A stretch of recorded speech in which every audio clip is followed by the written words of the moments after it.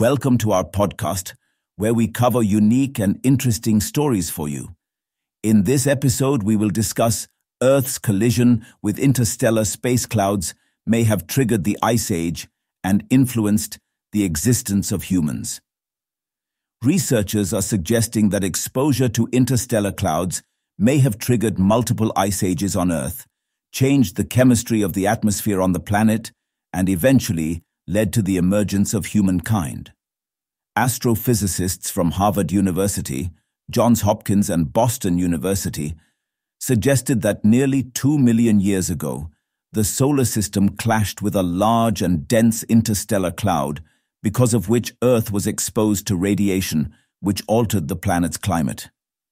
In a statement, astronomy professor at Boston University and fellow at Harvard Radcliffe Institute Merav Opher said, This paper is the first to quantitatively show there was an encounter between the Sun and something outside of the solar system that would have affected Earth's climate. Stars move, and now this paper is showing not only that they move, but they encounter drastic changes, he added. Meanwhile, in an email to Gizmodo, lead author of the study Opher said that the team is still trying to quantify it with modern climate models, but due to an increase of hydrogen and dust, Earth would have entered an ice age. A bubble, known as heliosphere, covers the entire solar system and protects planets from radiation, as well as other damaging cosmic rays, which can affect our DNA.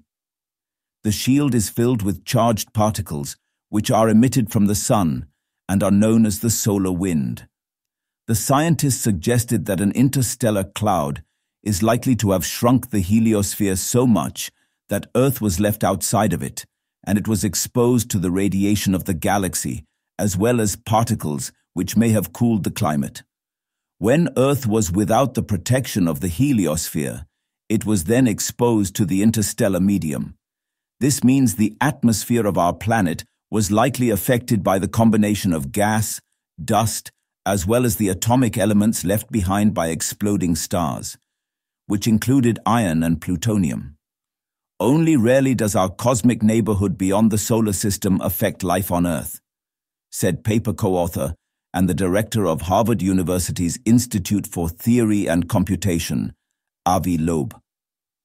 It is exciting to discover that our passage through dense clouds a few million years ago could have exposed the Earth to a much larger flux of cosmic rays and hydrogen atoms. Our results open a new window into the relationship between the evolution of life on Earth and our cosmic neighborhood. According to the researchers, Earth was outside the heliosphere nearly 10,000 years. This cloud was indeed in our past, and if we crossed something that massive, we were exposed to the interstellar medium, said Opher. That's all from this podcast. Thanks for tuning in. If you enjoyed this episode, be sure to subscribe and share your thoughts in the comments. Stay connected for more exciting discussions and updates in our next podcast.